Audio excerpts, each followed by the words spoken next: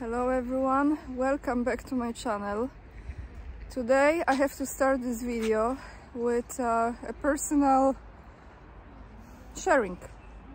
For some reason, I think it's due to the prayers, I just woke up with this enormous sense of peace and safety and trust in God, you know? And I can feel this energy around me. So I don't know if you are experiencing similar feeling today? I hope you do. Because today 11-11 which is 11th of november poland is celebrating the independence day. And this is to commemorate the anniversary of the restoration of poland's sovereignty as the second republic in 1918 from german Austro-Hungarian and Russian empires. As many of you know, there was a time in history, we're gonna cross the street here guys, it's my favorite park by the way. Was a time in history when Poland didn't exist at all and was be divided between three empires. Russia, Prussia or Prussia and uh, Austrian-Hungarian Empire. So why I'm telling all of this to you is not just because of the anniversary today, but because the article that I will have for you, the news that I will have for you is related to Polish independence and what took place yesterday and that was a speech that the leader of Law and Justice movement, Jarosław Kaczynski, gave in Warsaw. Uh, and there have been some very important words that I would like to bring to your attention. And before I go into this article, before I give you his words, I want to say, to kind of set the tone for what I'm about to share, that when you are dealing with evil, let's put this way, the most challenging aspect of it is that it's not all lies.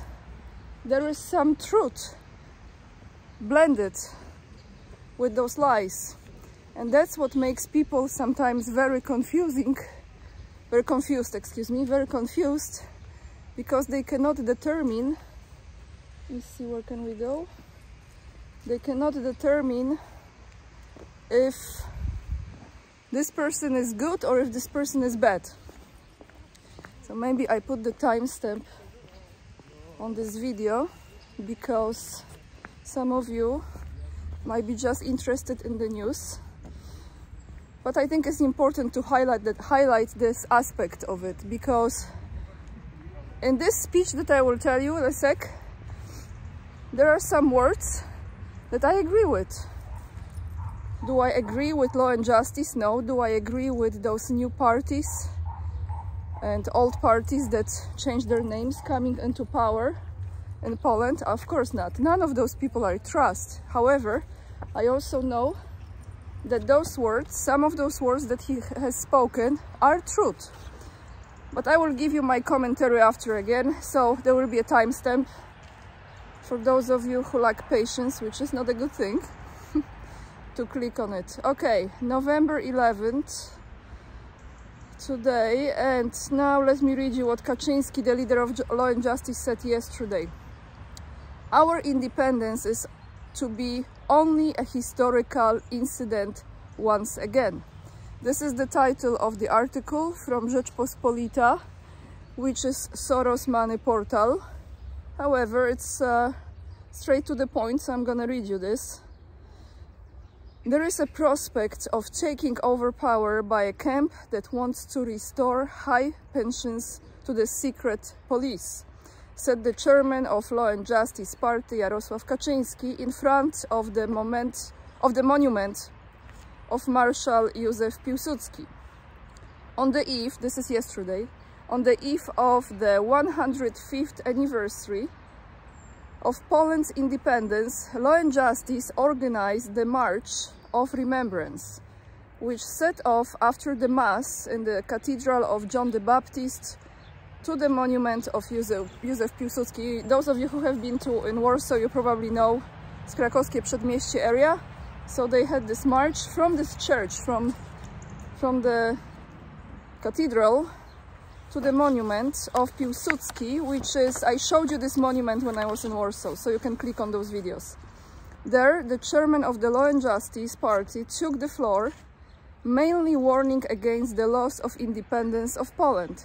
According to Kaczynski's theory, Poland is threatened by the implementation of a plan already prepared, the implementation of which by the European Union leads not only to the loss of independence, but even to the annihilation, I, I, I mispronounced it, I know, to the point where when Poland stops to exist, okay? I paraphrase. Kaczynski claims that such a plan has been adopted by the Constitutional Committee of the European Parliament. Now this is exactly from his mouth. What is yet to be discussed is nothing other than the implementation of the plan to liquidate our independence. Let me just go up here. Um, our independence is to be once again only a historical incident and Poland would be an area ruled from the outside but inhabited by Poles. And he continues, the German plan, as Kaczynski declared, that in, this is the German plan, Kaczynski declared, that in order to stop this process, a great effort and great consolidation will be necessary because Poles want to be free and independent. One more page. The plan to deprive Polish of its sovereignty is to be pursued by the camp which, quoting him, wants to take over power today. So now he's referring to Tusk and all those other parties that join as the coalition, as a opposition. I'm just telling you like, like they say, which is of course not true. These people will certainly strive to implement this plan. This coalition is led by a German party, not a Polish one an external party.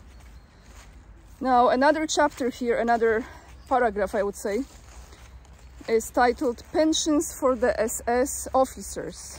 And it goes on like this. In addition, the democratic parties, which secured a parliamentary majority in the parliamentary elections, intend to restore high pensions to the secret police, according to Kaczynski. There is a prospect, although not yet certain, of taking over power by a camp that wants to restore high pensions to the secret police, that is to give privileges to those who terrorized Poland, who maintained the semi-colonial and sometimes also colonial status of our country, who persecuted all those who wanted freedom. At the end, Kaczynski referred to the anniversary of the Smolensk catastrophe you remember that plane in Smolensk where his brother and wife of his brother and many high-rank officials have died. It has been 13 years and 7 months. It won't be easy, but we have to strive for victory. This victory will be the defense of Polish independence. Okay, so this is all from uh, what he said yesterday. Now, what I want to tell you in my personal opinion, if you care, is this. Again, I want to emphasize, I am not pro law and justice and I am not pro any of those parties who got into the parliament at all. But I want to say this. Um, that that plan exists, of course, we know it, Euro European Union plan, we know it. So let's say there are two roads there is one road that is European Union and different level of destruction and control. Uh, and there is another role which is law and justice, which again is nothing about freedom. It's an illusion of it, but that's how they present it. They present themselves as conservatives. Again, I want to say they are not. Okay? And then seems like it's a different, completely opposite uh, path.